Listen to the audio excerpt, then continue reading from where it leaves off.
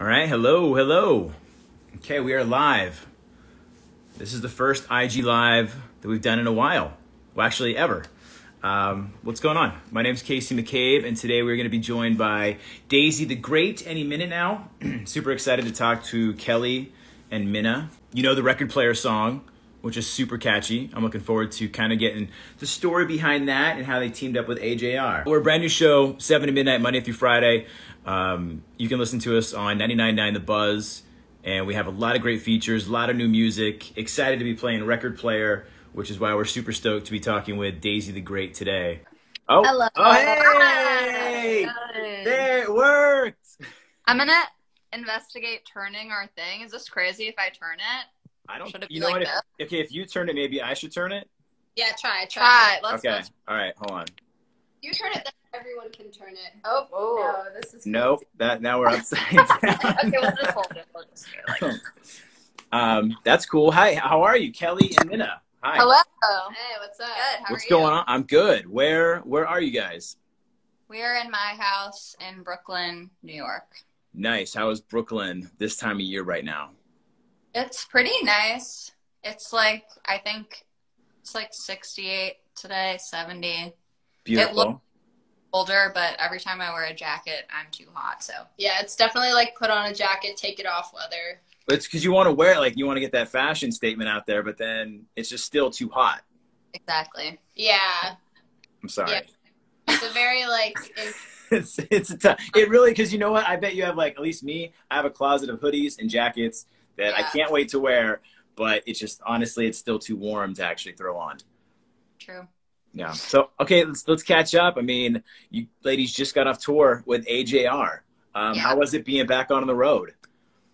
it was awesome. It was amazing. Yeah, we haven't played obviously in uh, a really long time, and I think especially for this tour, we were playing a lot of our new songs that we haven't released yet, but we've been during quarantine been working on an album, so we were coming back like really excited to be able to play for real people and have that experience, but also to like be bringing them the stuff that we've been working on um, which was also really exciting because a lot of those songs like we haven't heard in front of an audience so Yeah. it was it was very cool and we also got to kind of sit for a while with like um just like how we wanted to perform. I think that like before uh when we were performing before it was like we were always kind of like doing shows and shows and shows and like um like definitely learning from the shows, but I think that like taking a step back and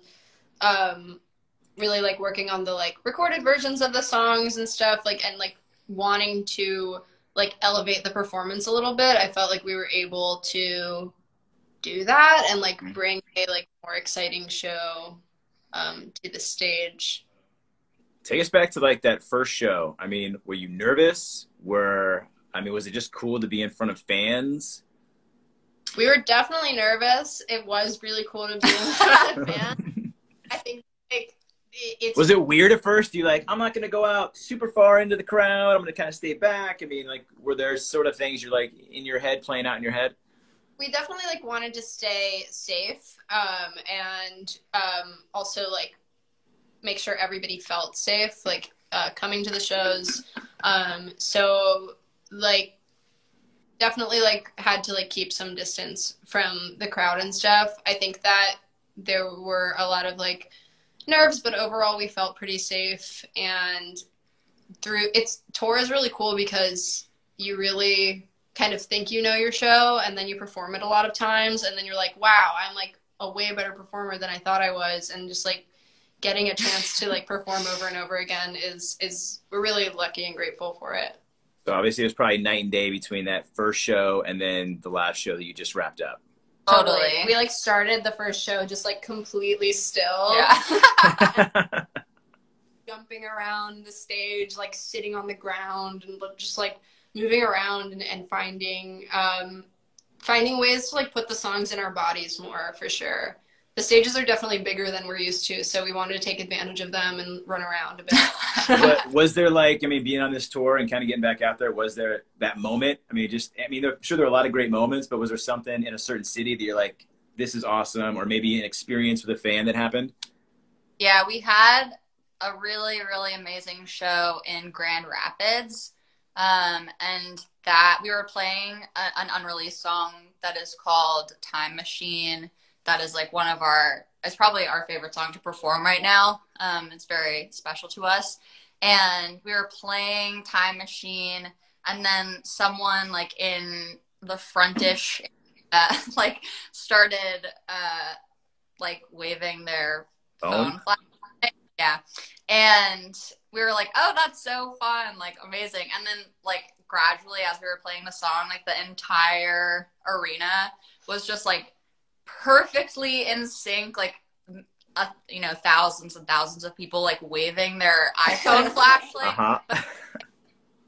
a lot of places, like a lot of a lot of other venues had a similar like iPhone flashlight moment, which is so amazing and beautiful to see like at that especially like the magnitude of the space and the amount of people and stuff it's just like incredible from the stage right. but it was at grand rapids show that they were just like perfectly in sync with each other just like yeah. all by themselves and we were just like watching being like we can't even sing so we're like about to cry because it's so beautiful we're like oh my god as we got off stage we were all like that was amazing was what can you what can you tell us about time machine then this song. Why is this song so special to you guys? Uh, this song's about the end of the world. Uh, I think it just feels timely. Uh, we wrote it a while ago, though. Like it, it was written like two or three years ago. Mm-hmm. Um, but it always feels like relevant and like it's a song about kind of like checking in where you are, looking at the past, and like seeing kind of where the world's at and like you know how have you contributed to it um slash like if you went back would you do everything the same again like uh, um like once you have perspective what do you do with it you know? Mm-hmm. that's great and i mean a lot of your fans obviously they connect with with a song like that. Totally. Yeah these, these this tour is really special i think too. I think that being an opener um you kind of like I think we went in kind of expecting to like, you know, be an opener and like have like people kind of distracted or like trickling in or like talking during the set but i felt like all of these audiences were so like attentive and beautiful yeah. and like really just like with us and it, we really it didn't feel like we were opening it felt like we were like performing and like wanted there they were um, they were there to see you they weren't there it wasn't like a bathroom break or let's go get drinks they were there to see you yeah it felt good and felt i like, mean being on this tour with um, AJR, obviously we'll get to the song, but like, how did it initially? Who, you know, who invited who out to the tour and, and said, "Let's do this," and how to kind of all come together? I, I wish did you, did you invite yourselves? um, are yeah. So it's definitely part of it is is definitely like the working on that song together and meeting each other. Um, and and so yeah, we've been working on the song, and we, I, I, I honestly don't even remember how it happened, but they were just like, "Oh, we're going on tour. It would be awesome to like be able to play this song. You, would you guys like to open?" And we were like, "Definitely. That would be an honor." um, you didn't have to pause and be like, "I don't know. We might be busy in September." Mm, yeah. I don't know about that. Like quick turnaround though. Like it yeah. was like we're going on tour next month. You want to come? And we were like, uh, sure. sign us up. We're in. Let's talk about the sort of the the the song. I mean, it's really originally from what 2017. Is that the the record player song? So I mean, let's just kind of break down the process of writing it. Who came up with what, and just how did it all come together? And then we'll get into how you guys teamed up with AJR. Totally. Uh, I started i wrote the record player song like over two two years maybe um, roughly around the time that i went to college and i met minna in college. Um, and so i had been working on this song and i didn't really know what to do with it and it was kind of like partially unfinished because it was like i i had played music uh, just for myself before and like played places, but it was always like my vocal, just me singing and like a guitar or piano or whatever. And I had written this song that had like a ton of parts in it, and I was like, I don't really know what to do with this yet. I was kind of just sitting on it. And then Minna and I, uh, we were in acting school together and we ended up having a sketch class together, which was like the first time that we were actually in class together and ended up writing a song for this sketch class. And then of us were like, oh, we both write music. And like, this was so fun and like seemed so easy. And it was like really fun to work on it together. And then we started to write a musical around graduation from school, which was a musical about a band. And then we started sharing like other songs that we'd written just because it's relevant in like writing music for the band uh, section of the musical. And then we started sharing songs that we've both written in the past, and Record Player Song was one of them. And that song was like one of the first songs that we collabed on that we like added Minna's voice to and had uh, we ended up having like our band who now is our band they came in to work on an arrangement of it with us for a tiny desk concert submission that we wanted to make.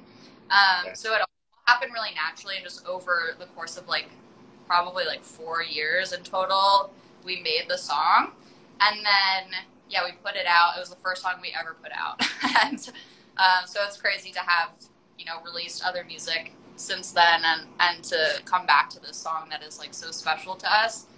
Um, so yeah. Is Yeah. that is that a, is that a kind of a weird feeling? I mean, how you have a song from years ago, maybe in the back of your mind, you kind of like forgot about it in a sense, and then now it kind of comes back and is just you know on the radio all over the place. Yeah, it's definitely. I feel like I'm happy that it's getting, uh, like its time. I feel like it's a song that a lot of people have connected to over the years, and it has kind of like cropped back in and out over the years. But it's also like having it be the first song we ever put out. We're like, oh, we just like put this out as us, and and now it's definitely exciting to be able to have a little bit more like energy behind it and get it to like you know be heard in the way that I would love for all of our songs to be heard. Right, right. Well, I mean, now you guys were playing it each night with you know a sold out crowd singing it with you. Yeah, and it's cool to. It's it's interesting too because like the vocals on it are vocals from So long like 20, 2016 even. So like we are like five years older now than we were when we were singing. It's really like it is cool and like crazy to like compare it to like a more. Yeah.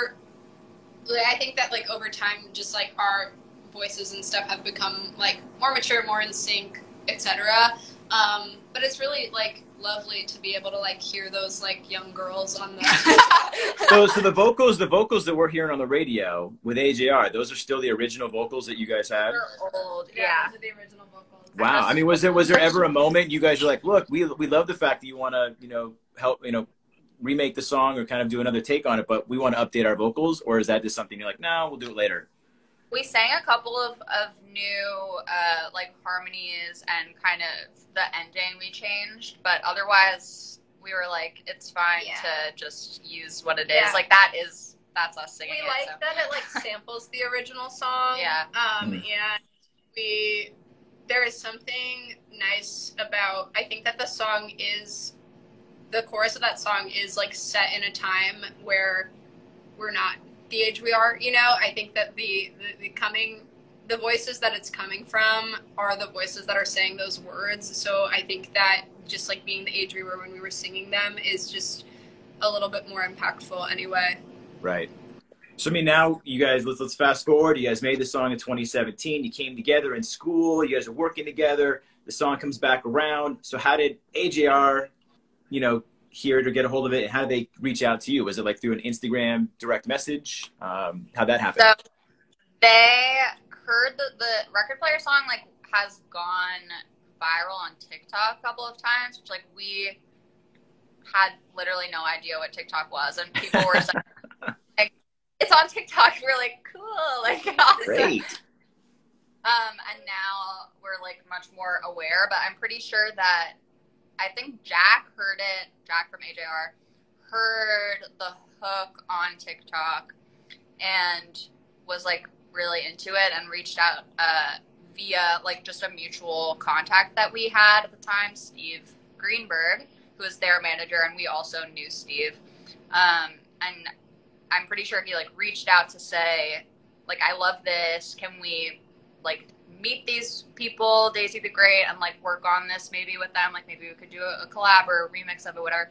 And then Steve was like, "Oh my god, I know them! Like I know them definitely. Like I'll I'll reach out." So it came from Jack, but through Steve, and then we we were totally excited about it, and ended up like going into the studio and writing some new lyrics with them, basically creating like a new version of the song.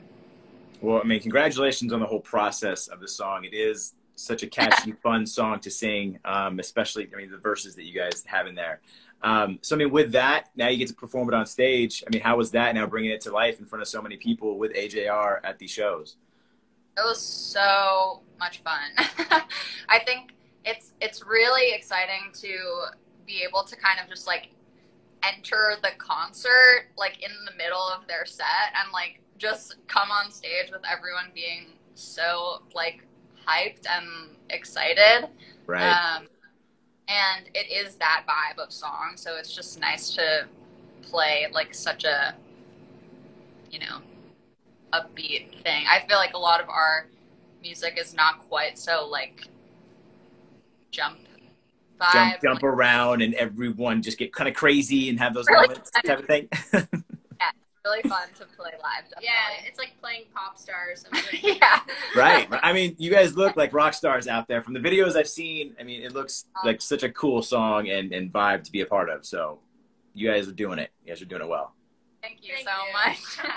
how, and so how, I mean, coming off that tour, how do you guys kind of decompress when you get home back in Brooklyn? Is it back to writing music? Are you plotting out a tour, finishing albums? Yeah, we're finishing our album. We're definitely like sleeping, like catching up on. Yeah, it's definitely hard. I think it's an adjustment um, because it really does feel like you're kind of out of time and space when you're yeah. touring because you're just like in a van and like you. It, it's weird because you're like in a van wearing like sleep shirts all the time, and then you like dress up, go on stage for 30 minutes, and then you put your sleep shirts back on, and then like. it's very it's such a strange like, yeah. and you're always with a group of people. You like become this like monster almost um right. a, um but i think coming back it is an adjustment and i think that it's important to like establish routines with yourself for like grounding yourself back in your home um because there's it's definitely like easy to get sad i think um coming back. So yeah i think that some, something that we're both doing is like figuring out what like life is like again to just like be and and um, get ready for, for what what happens next and like what we would do differently next time and stuff like that. Well, you guys do have a show coming up. Uh, it's still set for the Bowery Ballroom. That show is getting moved. It's getting moved. We will do a show. okay. All right. All right. I was going to say, what can we expect from from this show? But I mean, with that, are there other shows coming up that you're still preparing for? Then. Um, yeah, we have some shows coming up that are scattered. Like we're doing a, a, a thing with AJR in December. Um, but we're we're really working on getting the album out right now. So we are working on like the next songs. Yeah. Um, but we are very excited to play our own headlining stuff, and that's on the way. Yeah. we, can, we can probably expect that 2022 headlining Daisy the Great tour. Totally. Yes, I love that. It's gonna be awesome. Now with with the new album, you know, one thing from um, your, your soft songs EP is that you guys recorded a lot of it on, or some of it on the vocals on iPhone uh, mm-hmm. voice notes or memos. Will will how was? Do you recommend that to people? First off. Totally. Okay. Yeah. Yes. you off. Oh, what's that? What's second off? You just. Oh, and second, will we? Will there be any of that sort of stuff on the actual your your album that you're working on, or is this just going to be fully? We're in the studio making it.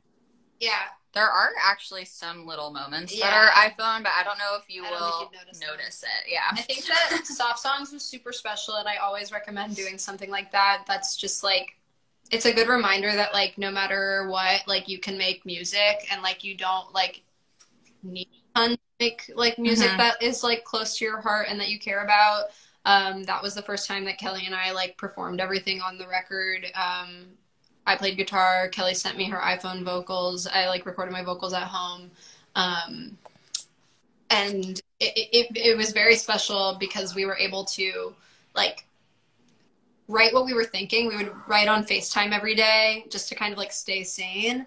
Um, and then we just like immediately put it out. We're usually a lot more kind of meticulous listening and revising goes into um, some of the bigger songs. And I think it's more necessary for some of the bigger songs because there's so many moving pieces that like mixing like mixing a like guitar vocal is way easier than mixing like a ton of instruments and they both serve different purposes. So I think Right. that like out that moment um, was very special to us and I totally recommend it. iPhones have great microphones. Yeah. you don't need a fancy microphone.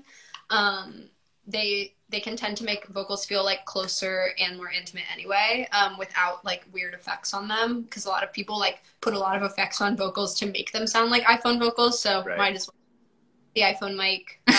Um, but the new the new the new record definitely does dip into some more like folky intimate stuff there's definitely songs on it that are stripped down like atmospheric guitar like harmony driven like small songs. And then there's like huge rock like bangers. Um and we really try not to worry too much about what the genre is um because the genre is me and kelly singing. Um and um, so we just wanted to like write songs that we wanted to write, um, and it kind of goes across the board. It, it, it, it um, some songs you can dance to, some songs you can cry to, and like some songs you can rage to. So that's so what we. so leading into the, the album that you're working on, what can we expect? What kind of themes are we gonna hear on it? Um, how far along are you? Do we have a name for it? I'm just gonna keep asking so many questions just to get everything. The album is recorded. Um, it is potentially more than one album. It is long. Um, okay. There are there's not a name for it, though the name may be just Daisy the Great. Um, there, but you didn't hear that from us. Uh, there, the, you can the themes of the album are definitely themes that um, some themes that we've touched on before. You know about like um, kind of growing up as an adult and what that looks like, um, and like the complexities of like feeling like you're growing when like the growing is done, you know? Um, and um, has a lot of like themes about time, a lot of themes about like being alone in your room. um, so, I mean, we tend Which to write like weirdly were written before. the Quarantine? pandemic and quarantine. Okay. you guys were like already preparing for this. You're like, I've been in my bedroom by myself. This is Quarantine song and it is not. But but it yeah um but yeah just a lot of like introspective stuff um paired with like fun melodies and Mhm. like pretty it's gonna be a bigger sound than than we've released before and it's exciting good. We're we're looking forward to it. We thinking fall or uh, spring, summer for no. can't tell sadly. but Sadly. song very soon okay. Yeah. We're gonna keep an eye on those songs. We're looking for them. Um, now I know you guys are gonna perform a little song for us, I believe, Sure. here in a second. Real quick though, since you guys, you know, ladies do live in Brooklyn, um, do you have like a favorite restaurant for those who go visit? Is there like a coffee shop we should hit up? I'm gonna say maybe There's a- Little Dokebi.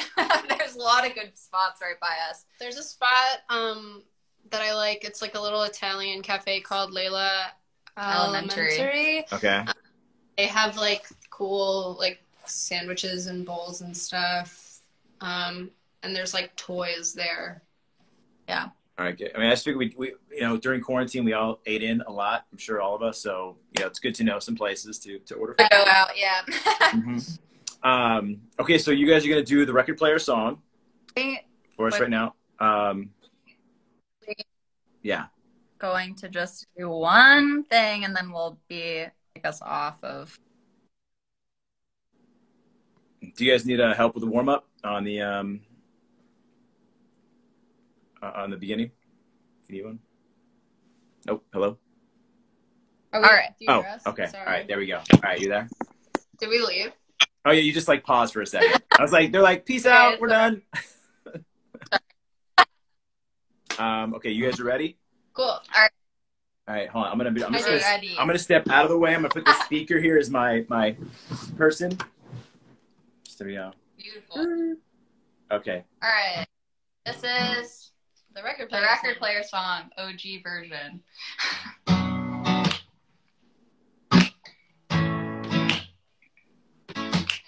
I've got a record player that was made in 2014. Dyed my hair blue.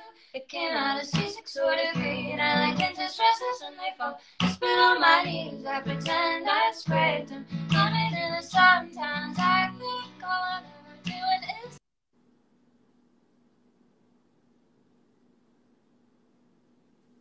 doing is trying